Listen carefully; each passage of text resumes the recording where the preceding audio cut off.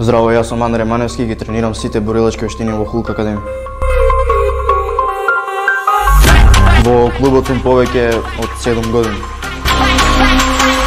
Мојот следен предизвик е ММА борба, односно борба во кафес.